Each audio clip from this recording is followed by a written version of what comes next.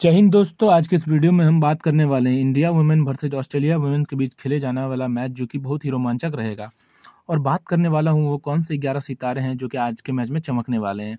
Pitch report क्या रहेगी और साथ साथ देखेंगे रिसेंट फॉर्म खिलाड़ी का क्या कह रहा है। इसी बेसिस पे टीम सेलेक्ट करने वाला हूँ और उसके बाद कैप्टन भी इसी सबसे ज़्यादा इंपॉर्टेंट रहने वाला है।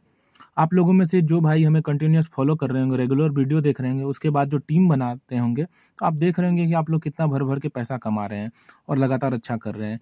तो मेरे भाइयों अगर आप भी इस मुकाबले को हमारे साथ खेलना चाहते हैं तो हमारे टेलीग्राम चैनल को ज्वाइन करना बहुत ज़्यादा ज़रूरी है, क्योंकि आपको वहाँ पर मिलेगा फाइनल टीम जिस टीम से मैं खेलता हूँ। इसके अलावा जीएल का team pitch report playing eleven यानी बेहतर से बेहतर, शानदार से शानदार टीम बनाने के लिए जितने भी चीज़ों की आवश्यकता होती है, सारी टेलीग्राम पे प्रोवाइड कराता हूँ।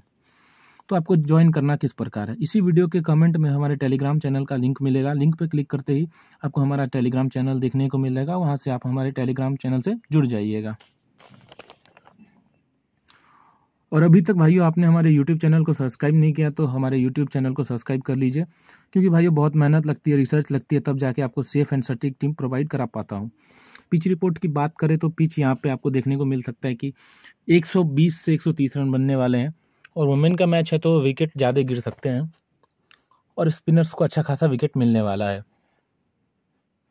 हेड टू हेड में तो आप देख सकते हैं कि ऑस्ट्रेलिया की टीमों का पलरा वाली है। पिछला मैच भले ही इंडिया जीत के आ रही है। मस्टअप पिक जो रहने वाले हैं आज के मैच में Alyssa Healy T McGrath A Gardner Deepti Sharma A Sutherland Megan Schutt Georgia Wareham T Sadhu, S Patil. ये नौ प्लेयर हैं जो आपको लगभग सभी के टीमों में देखने को मिलेंगे। और दो को वो कौन से प्लेयर होंगे, वो मैं आपको बताता हूँ आगे वीडियो में। पहले मैं यहाँ से क्लियर कर लेता हूँ। विकेट कीपिंग सेक्शन में यहाँ पे आपको देखेंगे Alyssa Healy Beth Mooney Y Bhatia खेल नहीं रही है रिचा घोष रिचा घोष को फ़िलहाल मैं इस मैच में नहीं लेने वाला हूँ, क्योंकि टी ट्वेंटी में इनका परफॉर्मेंस उतना अच्छा नहीं रहता है। एलेसा हेली पिछले मैच में मात्र तेरह पॉइंट दी थी। बेथमोनी चौबीस पॉइंट मैं फ़िलहाल इस मैच में एलिसा हेली के साथ जा रहा हूँ। बैटिंग सेक्शन से ई पैरी, ये कभी भी आपको बॉलिंग भी करके दे सकती है। पिछले मैच में इन्होंने बैटिंग से इक्यावन पॉइंट दिए थे, फ़िलहाल मैं इसको अपनी टीम में लेके चल रहा हूँ। मंदाना को मैं अपनी टीम में रख रहा हूँ। और शेफाली वर्मा को अपनी टीम में रख रहा हूँ। ऑलराउंडर सेक्शन से मैं यहाँ से टी मेघरात को रख रहा हूँ एक गार्डनर को रख रहा हूँ, दीप्ति शर्मा। और बॉलिंग सेक्शन से मैं यहाँ पे एस पाटिल टी साधु।